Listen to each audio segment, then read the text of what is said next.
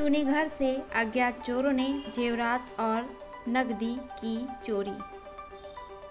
कोतवाली थाना अंतर्गत वार्ड नंबर 12 बूढ़ी स्थित एक सोने मकान में अज्ञात चोरों ने घर का ताला तोड़कर नकदी व सोने चांदी के जेवर चोरी कर लिए।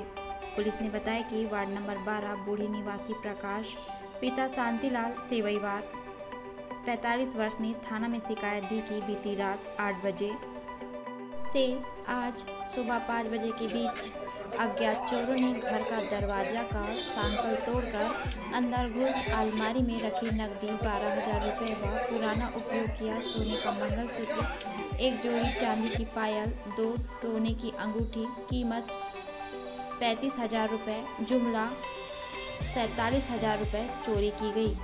पुलिस ने अज्ञात चोरों के खिलाफ धारा चार सौ संतावन तीन सौ अस्सी भादवी के तहत मामला कायम कर पतासा जी की जा रही है।